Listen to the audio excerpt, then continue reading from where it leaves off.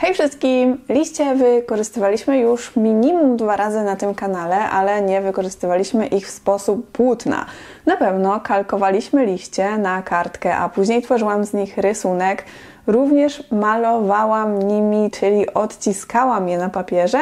A dzisiaj będziemy właśnie z racji tego, że mamy już tę jesień, będziemy na nich malować. Naszykowałam sobie dwa liście klonu i to na nich stworzę dzisiejsze prace. Także niby wyzwanie, niby nie, bo jeszcze do tej pory nie malowałam na liściach, ale zobaczymy jak to będzie, a jeśli podobają Wam się moje filmy i chcecie widzieć ich więcej, to zapraszam Was do zasubskrybowania mojego kanału, aby nie ominąć żadnego z nich.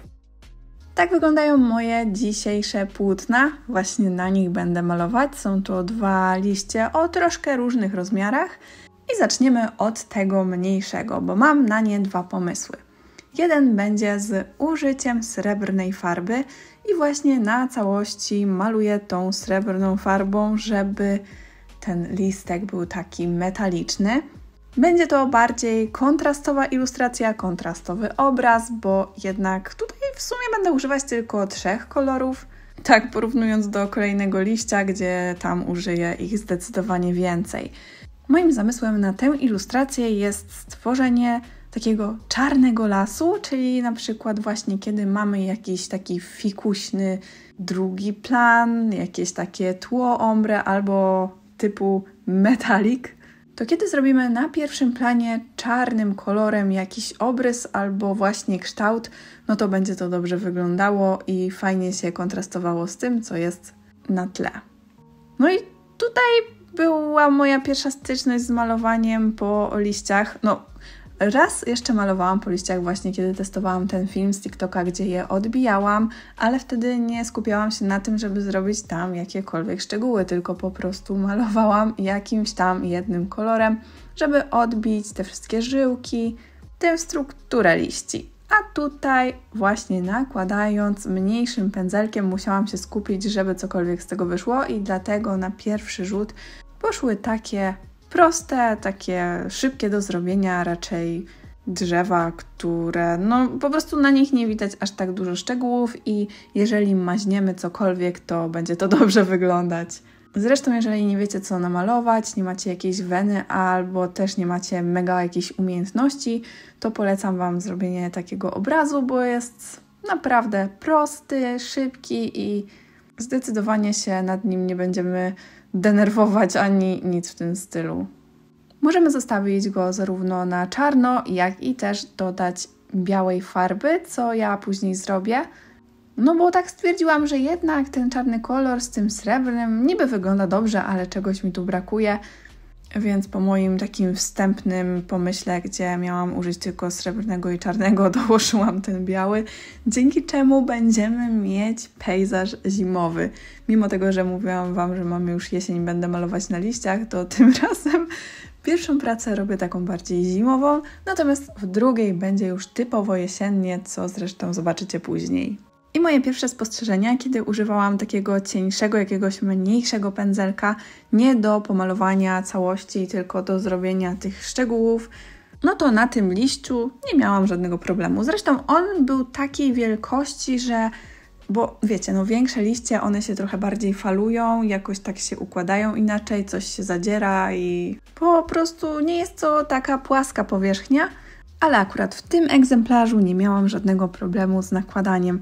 To było dosyć podobne do kartki, jednak te nerwy, które zobaczyłam jak się nazywają, czyli te takie linie, y, nerw główny i nerwy boczne, troszkę mi przeszkadzały, bo trzeba było w tym miejscu przejechać kilka razy, bo jednak zostawiały takie puste elementy, czego niekoniecznie chciałam po prostu uzyskać, ale i tak to wszystko widać. Po prostu tę fakturę liścia zawsze będzie widać. No chyba, że nałożymy naprawdę grubą, grubą warstwę taką, że wiecie, będzie bardziej 3D, wtedy zakryjemy na pewno całą strukturę, ale tutaj nie chodziło mi o to, po prostu miał być obraz na liściu, czyli tak naturalnie. No i powiem Wam, że nawet jestem zadowolona z efektu, jaki osiągnęłam właśnie przy tym pierwszym liściu. Szczególnie podoba mi się ta farba srebrna. Ona tutaj daje dużo takiego podziwu, jeśli patrzymy na ten liść i przekręcamy go w jedną i w drugą stronę, to widzimy te odbicia światła, które bardzo mi się podobają I w dodatku mamy też tę matową farbę akrylową, która tego światła nie odbija, no i to jest tak fajnie skontrastowane. Zresztą zobaczcie sami.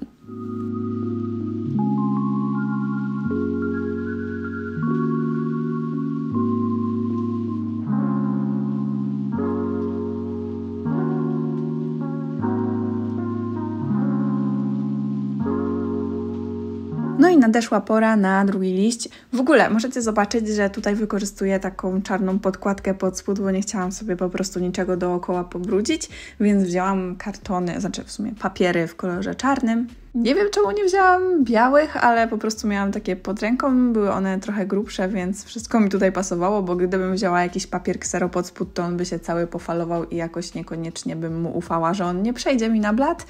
No i przy drugim liściu, czyli tym większym, postawiłam na bardziej jesienny krajobraz, o ile można tak powiedzieć. W sumie można powiedzieć, że ilustrację, tylko że z dodatkiem fantastyki, bo wykorzystałam fioletowy kolor do tła. Tym razem nie robiłam go takiego bardzo jednolitego jak w przypadku pierwszego liścia, tylko poszłam w nakładanie jaśniejszego i ciemniejszego odcienia fioletu. Te jaśniejsze odcienie nałożyłam bardziej na końce i na górę, a ciemniejsze tutaj w środku liścia przy ogonku.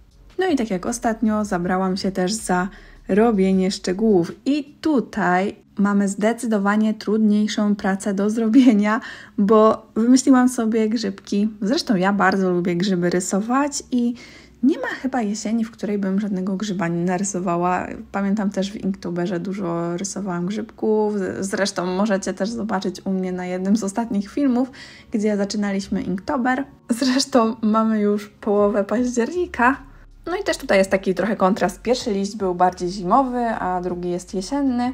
No i właśnie, jeżeli chodzi o odczucia co do malowania na tym liściu, no to tutaj było to też bardziej skomplikowane, mimo tego, że skomplikowana praca również była, to używanie farb na takim większym liściu, gdy nie mamy go jakoś za bardzo sprasowanego, tylko takiego świeżego, jest na pewno bardziej zajmująca.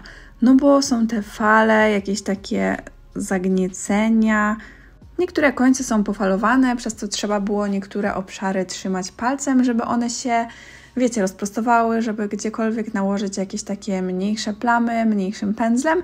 I trzeba było uważać, żeby tego palca nie włożyć sobie w świeżo umalowany wcześniej obszar, no bo mogłaby wyjść z tego katastrofa. Chociaż powiem Wam, że akryle wybaczają, można ich nakładać dużo na siebie, ale też nie chciałam, aby w późniejszym etapie, kiedy na przykład zostawię sobie takie liście do przechowania i później zobaczę, jak one wyglądają, żeby mi się nie rozwarstwiły ani nic się nie uszkodziło. Więc też starałam się tych warstw robić jak najmniej. Ale tak jak Wam mówię, no to było zdecydowanie cięższe. Szczególnie, że mogłam jeszcze wymieniać sobie wodę, a jakoś byłam zaleniwa i po prostu nie chodziłam, więc te kolory, które tutaj nakładałam, są troszkę pobrudzone, ale w sumie wydaje mi się, że nie przeszkadza to jesieni, bo jednak jesień wcale nie zawsze jest taka złocista, czasami jest taka bura, ta plucha i tak dalej. Więc finalnie kolory wyglądają zdecydowanie jesiennie. Użyłam tutaj dużo żółtego, brązowego, takiego pomarańczu, również czerwieni, no i oczywiście białego na takie najjaśniejsze obszary. No i stworzyłam tutaj grupkę grzybków, takich bardziej znowu fantastycznych, bo mają zakręcone kapelusze i w sumie trochę wyglądają na jakieś psiaki, ale no musicie mi uwierzyć, są to fantastyczne grzyby.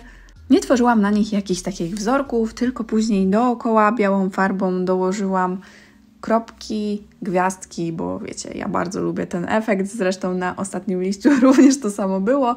No i też na moich pracach na Inktoberze, na Samitoberze. Oj, dużo gwiazdek dodaję. No i co, w sumie zbliżamy się do końca. Malowanie na liściach nie było aż tak mocno wyzwaniowe jak niektóre wyzwania, których podejmuję się na tym kanale, ale też nie było zbyt proste, szczególnie przy tym większym liściu. Jeżeli chcecie malować na takim liściu, to na pewno zachęcam Was do przytrzaśnięcia go przed malowaniem, nie wiem, kilka godzin, ale też chyba nie fajnie byłoby je wysuszyć, bo jednak wtedy by nam się mogły porozwalać. Więc najlepiej taki świeży pomalować, tylko właśnie go troszkę przytrzasnąć jakimiś książkami czy czymś innym ciężkim. Napiszcie mi też w komentarzach, który liść Wam się bardziej podoba, czy ten pierwszy zimowy, czy drugi jesienny.